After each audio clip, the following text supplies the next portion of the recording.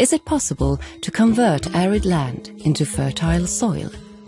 That was one of the main reasons why Desert Control invented liquid nano clay, LNC in short. Through a patented process, LNC combines clay and water into a compound.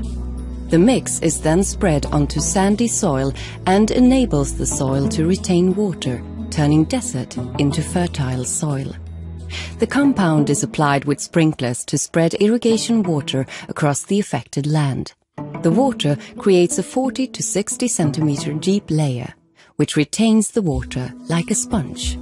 This method saves water and increases yields. Cultivating sandy soil into fertile land normally takes from 7 to 15 years. Desert Control's LNC accomplishes that in just 7 hours. One application of LNC could last a minimum of 5 years. Production of LNC happens on site using only natural components. Customers will save between one half to two thirds of the water they are currently using to irrigate land for food and biocrops. If liquid nano clay were used in just 1% of the targetable arid land to reforest, the uptake would be 26 million tons of CO2 per year.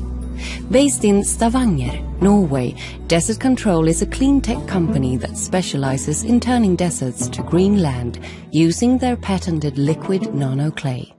They are currently showcasing applications in Saudi Arabia and Dubai.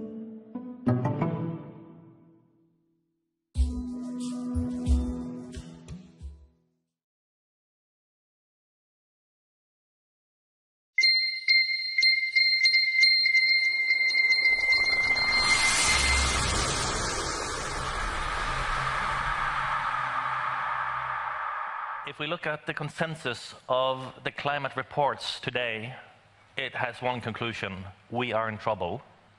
However, game-changing technology has, through history, taken us into new avenues where better possibilities exist. So we tested it. As you can see, there's a slight difference. We got ridiculous results. We had an increase of 416%, what they could manage to get out of their soil when we applied liquid nano clay to the ground and then fertilized it.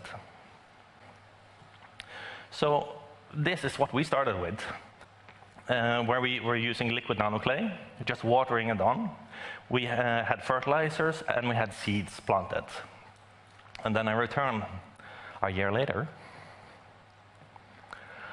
and we had wheat fields, we had trees 5 meter high.